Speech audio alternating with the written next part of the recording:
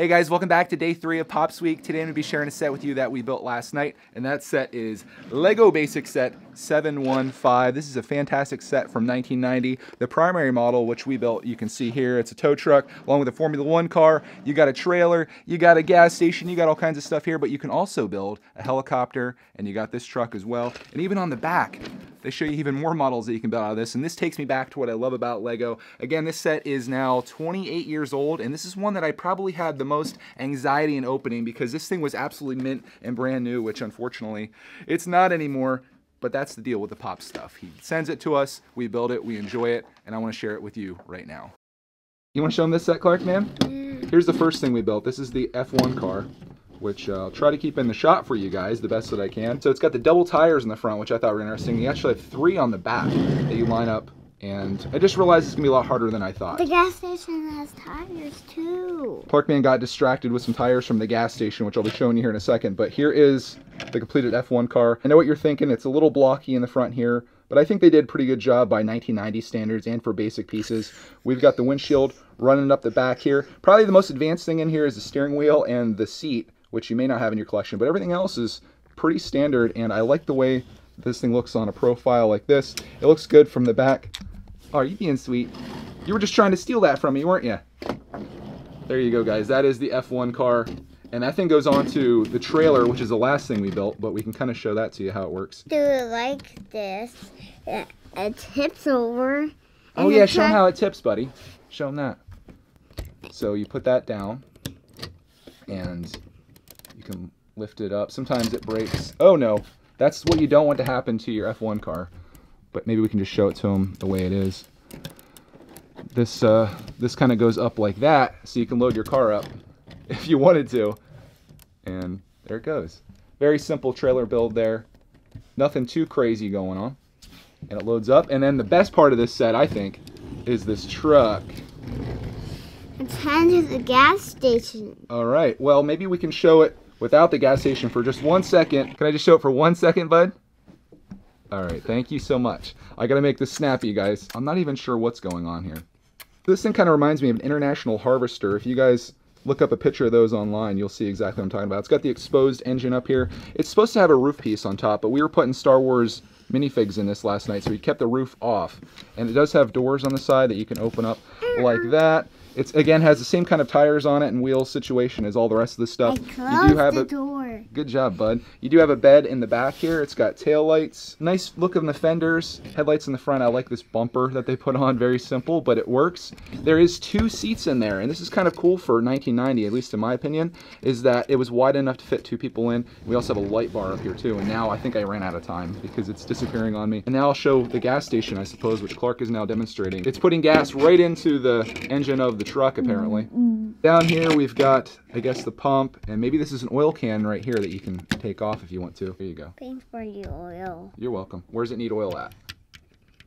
Inside here. Yeah, I don't know if any of this is actually supposed to be done this way, but that's the way we're doing it. If I spin this around, you can see this has got a couple little flags up here. We've got a couple tools. There's a broom and a wrench. I think it's pretty cool. Nice little play set here. And then I show you the last thing. This is nothing special, but it's just this thing that spins around with the light. This is the last thing we did last night before we went to bed. And the first thing that we did this morning when we got up. And I think it's just a fantastic set. Again, this is 715 Lego Basic. And I'll show you the manual here because, again, they show you not only how to build the thing that we built, but if you go far enough, you got the helicopter, which I kind of like. The only thing I don't like are these this tire situation here. I'm not a huge fan of that. It looks a little weird, but you could build that without that, I'm sure.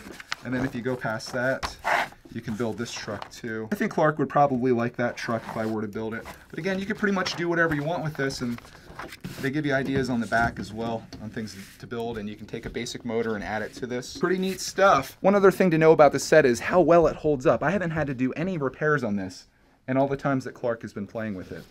It's been great. That fire truck right there. That's awesome. You think we should build that sometime? Yeah.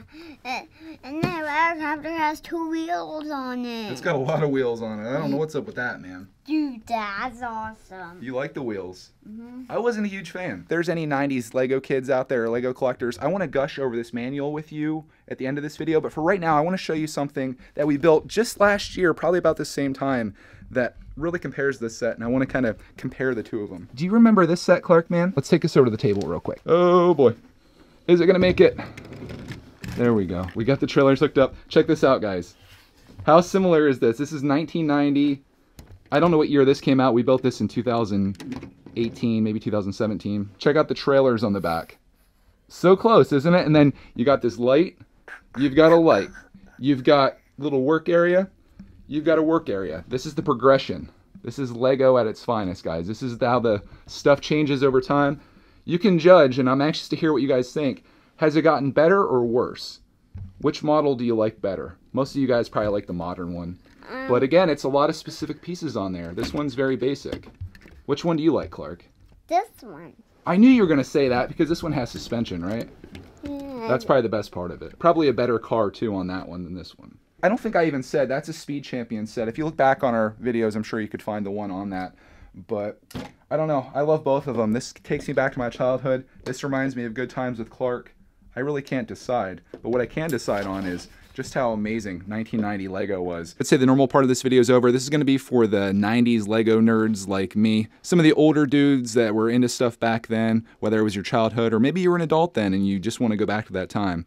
I want to take you through this somewhat briefly, but maybe not so briefly. I just want to show you some of the things that I really love in here. And this page right here, this is one of my favorite sets that I owned as a kid. And it's actually in this catalog. If you come over to the next page, I started looking at this last night and it just took me down memory lane. And some things, again, I wish I had memories of, like this set right here, I'm actually thinking about getting. Trying to get a shot of this for you here. This is 6396 International Jetport. I love that set. It looks so good. Never had it, but here's the set that I did have. This is the Solo Trainer. I really love that set. I also had this one too, the Space Shuttle. But some of these sets, again, maybe you guys remember, I had this one right here, which is the Hook and Haul Wrecker. Man, I would love to have anything from this page, though. This is like my favorite time in Lego is probably what you see here. And then if we come over here, and hopefully I'm doing a good enough job here for you, we've got the Victory Lap Raceway, which I never had but would love to have. Some of these more expensive sets I didn't have, but I did have this little one here, Road Rebel 6644. I guess when you grow up without a lot of money, you miss out on stuff like that and you get stuff like that. But nonetheless, I enjoyed it and I had fun with it. And maybe some of you guys can relate that are watching this too.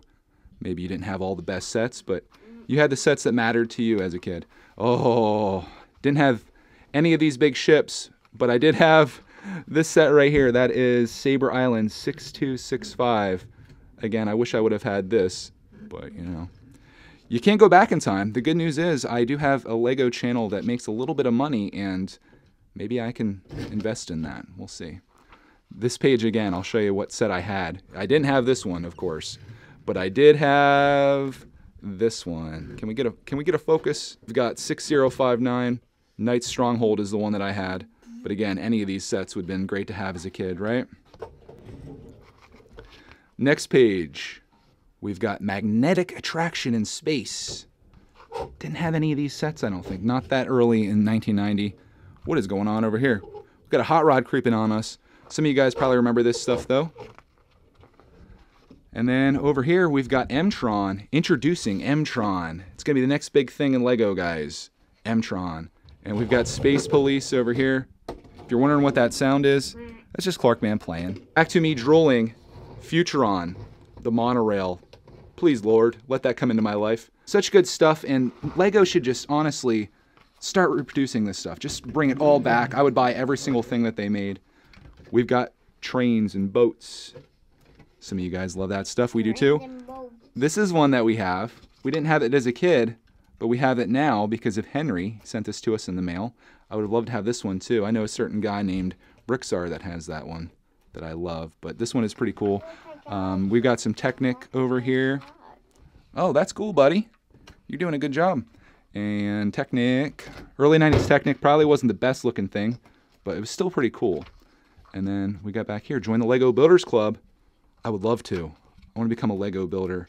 But yeah, there's all that. I guess I can show you the, the truck that we're just talking about. Back to the shelf. Here it is. Clark loves this one too. Sorry for his head being in the way.